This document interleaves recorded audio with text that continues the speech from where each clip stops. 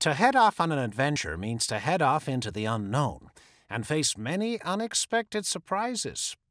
You are no doubt aware that Solar Impulse has had to temporarily postpone its round the world voyage and will start again next spring. But this journey has already been so extraordinary that I must carry on telling you all about it.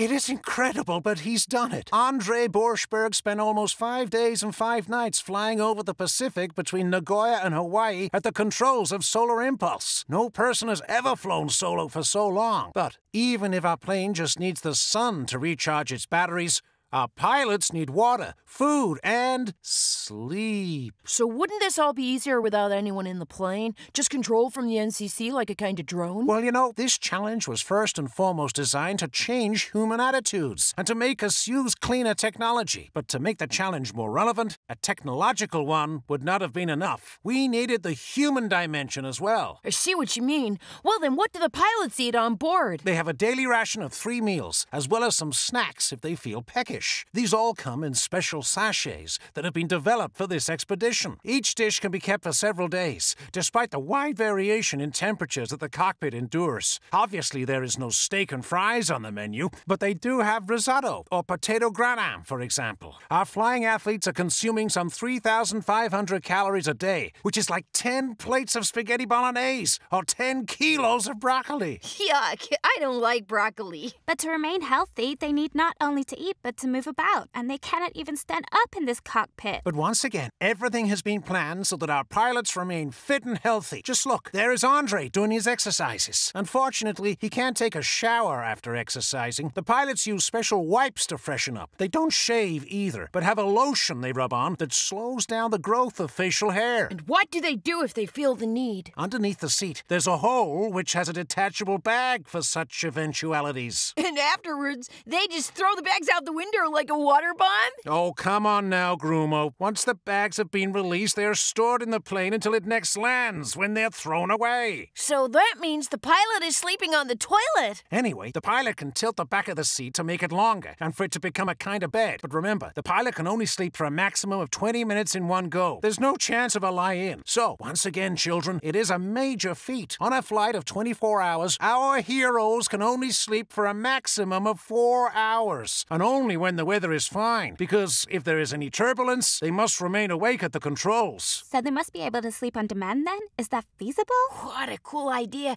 Well, when I decide to sleep, I just sleep, like now.